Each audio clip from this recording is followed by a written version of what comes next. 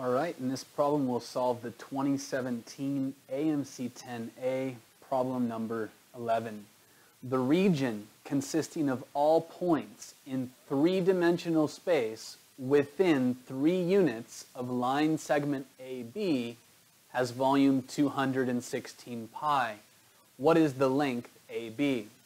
Okay, so how are we going to visualize this? It's kind of hard to draw something 3D that all points within uh, three units. Uh, let's think about a line going straight back into the board of which this is like you're looking straight down into it like that.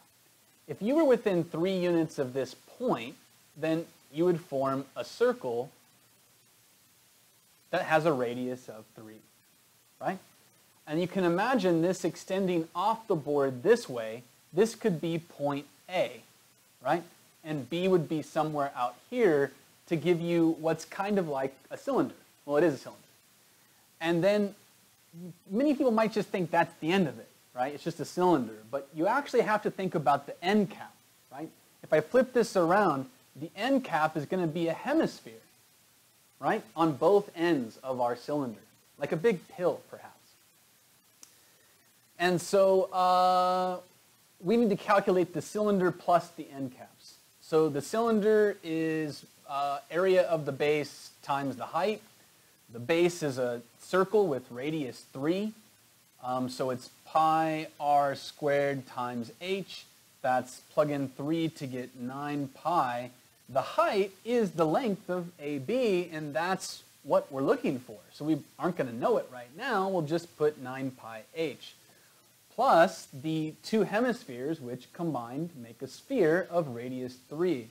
You're going to need the volume of a sphere formula.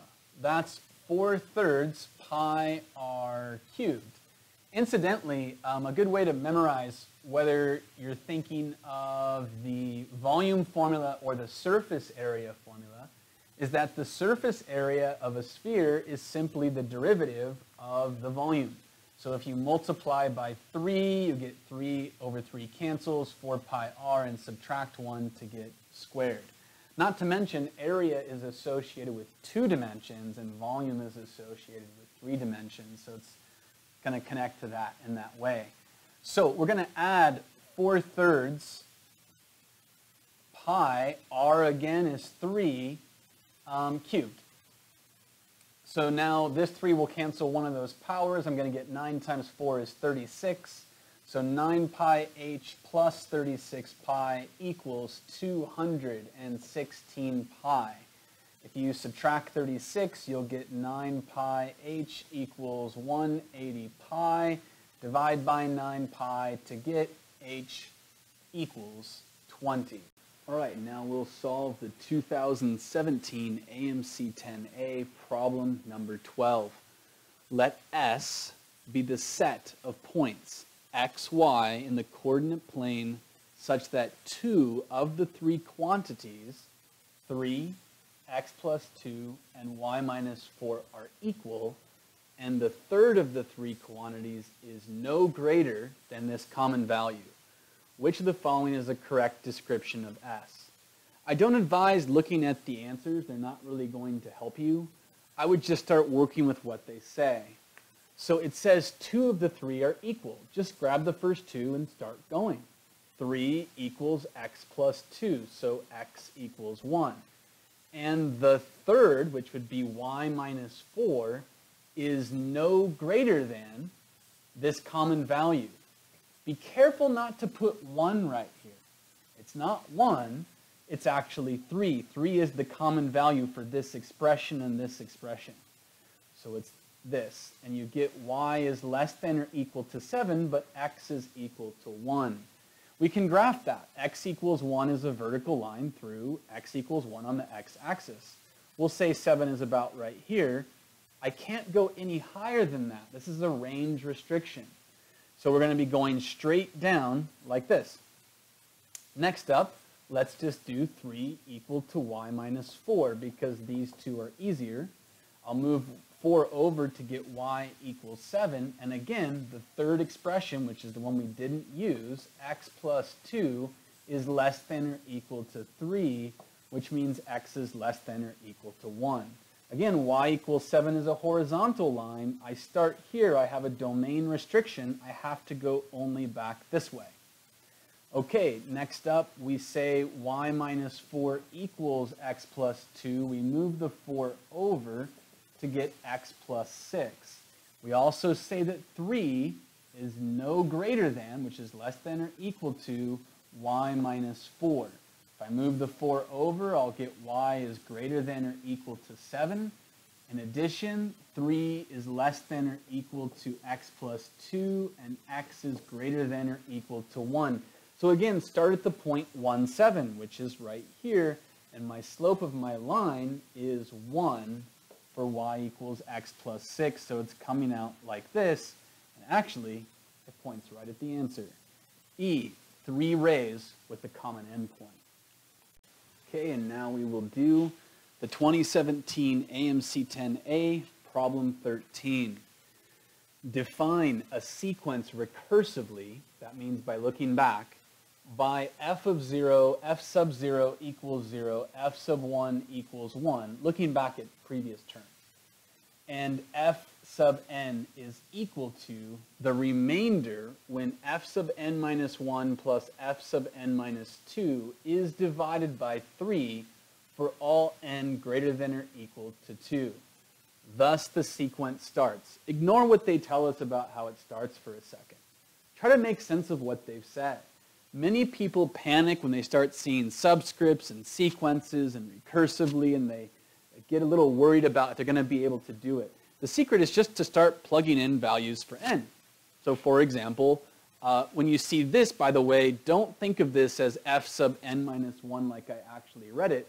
Think of it as the previous term plus the second previous term. That's easier to think about. So we know the sequence starts 0, 1 because it tells us f of 0 sub 0 is 0 and f sub 1 is 1. So I need the sum of these two terms. The, the next term is this, the remainder when the previous two terms sum is divided by 3. Well, if I add these, I get 1. When I divide by 3, I'm going to get a remainder of 1. Let's keep going and see if ours matches what they tell us. If I take the next term, right, n for being 4 now, this was when n was 2, f sub 2, so n, n being the 2 is greater than or equal to 2. So we try the next one, f of 3. It's again the previous two terms. Why? Because if I plug the 3 into the little n, I'll get f sub 3 minus 1 plus f sub 3 minus 2. Simplify that, it's f sub 2 plus f sub 1. In other words, the previous two terms. We don't want to be plugging in n anymore. We want to just think about the sum of the previous two terms. So once we understand that reality, we're now just going to continue. 1 plus 1 is 2, divided by 3, remainder is 2. Add these, divide by 3, the remainder is 0. Add these, the remainder is 2. Add these, a remainder of 2 again. Add these as 4, you went over 3 by 1, so the remainder is 1, the remainder is 0, the remainder is 1, and 0 plus 1, remainder is 1. We're looking to get a little ways out as quickly as possible so that we can look for a pattern to emerge. In this case, a repeated pattern. So first off, we match up here, 0, 1, 1, 2, 0, 2. 0, 1, 1, 2, 0, 2. We're on the right track. Always check yourself as you go so that you're not making some casual error and you end up with a silly. Okay, so we've got 0, 1, 1, 2, 0, 2, 2, 1, 0, 1, 1. 0, 1, 1 matches 0, 1, 1. Therefore, all the way to here is our repeated portion. This is going to repeat because it's doing the same thing these terms were doing. So how many terms are in our repeated portion? 1, 2, 3, 4, 5, 6, 7, 8. So every eighth term will be this 1 right here. Okay, so then we want to start up at f of 2017, so right after the 2016 term. Let's think about that term then. Since 2000 itself is 8 times 250, and 16 is 8 times 2, we know that 8 goes into this, and therefore, this would be the 2016th term. So to start the 2017th term, I'm just going to start right here at this 0. Now all we have to do is count the number of terms we want. 1, 2, 3, 4, 5, 6, 7, 8. You could have also taken this, subtracted that, and added 1. We want the sum of the next eight terms, starting with this one, which is simply the sum of one cycle. Add it up, 4 and 5 is 9, and the answer is D. And next we're on to the 2017 AMC 10A problem 14. Every week, Roger pays for a movie ticket and a soda out of his allowance. Last week, Roger's allowance was A dollars. The cost of his movie ticket, which we will call M, was 20%. So make sense of it as you go is a good idea. Don't just read the whole thing, then you have to go back and reprocess again, when right now you can think about it as you go. So we're going to make M the cost of the movie ticket. It says it was 20% of, so it is equal to one-fifth of what? The difference between the allowance and the cost of his soda, which we're going to call D. I don't really like S because it looks like 5, so I try not to use it whenever possible. So then we're going to have A minus D. That's the difference between his allowance and the soda. Okay, next up it says, while the cost of his soda, which we're calling D, was 5% or 1 20th of the difference between A and the cost of his movie ticket, which is M. Finally, it's going to ask us, to the nearest whole percent, what fraction of A, so make a fraction with A on the bottom, did Roger pay for his movie ticket plus his soda? So we want this to be equal to P over 100 because it's, it's asking what percent, basically, and that would be written as P over 100. Okay, uh, what's next? Just start manipulating. Don't distribute one-fifth. Nobody likes fractions. Get rid of it. Multiply by 5. 5m equals a minus d. Over here times 20. 20d equals a minus m.